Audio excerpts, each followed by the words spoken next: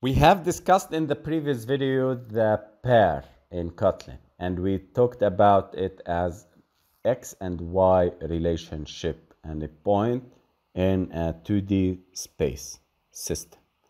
Now let's talk about triples.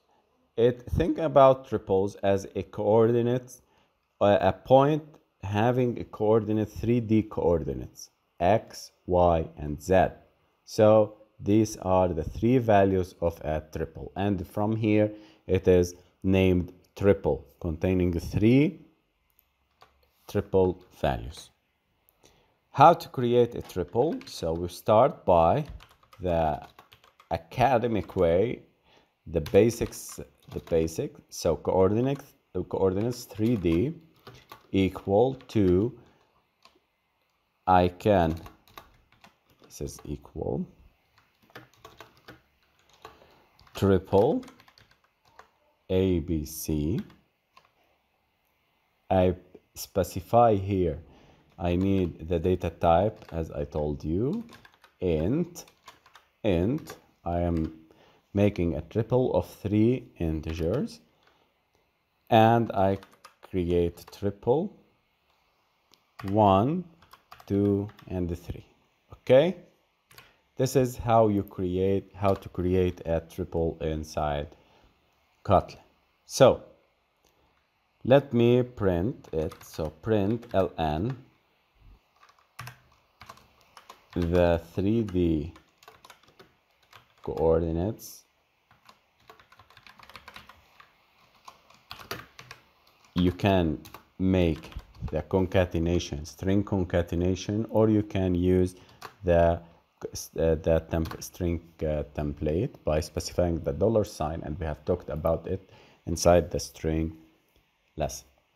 And here we go. The 3d coordinates are 1 2 and 3 in the same way i can create val. You can create var or val the same uh, syntax but the coordinates of 3D coordinates 3D and uh, this is the second one. Equal directly a triple.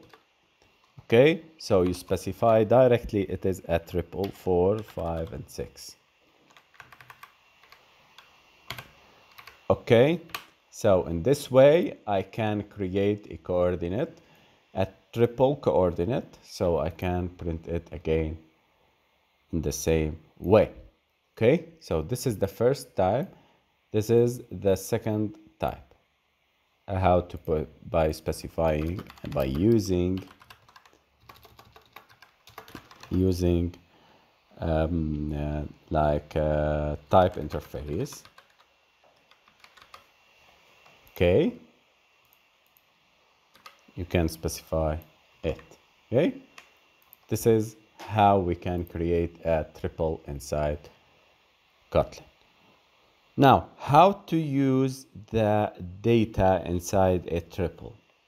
I can create a variable here or a constant because we have created a constant here and the constant would be x or 3 equal to or x equal to coordinates 3d dot first I can create get the y separately coordinates dot second and val z equal to coordinates dot third. Okay you see guys that we have get uh, we have get the coordinates uh, of 3d this is the first element.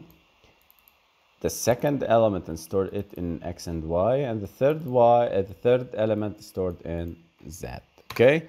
So in this way we have get the data create three new constants and assign each part of the triple to them in turn okay?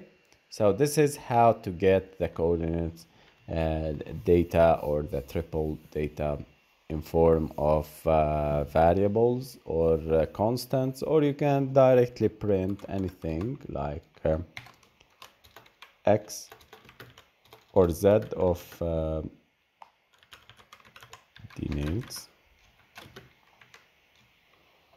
we can specify coordinates dot third okay?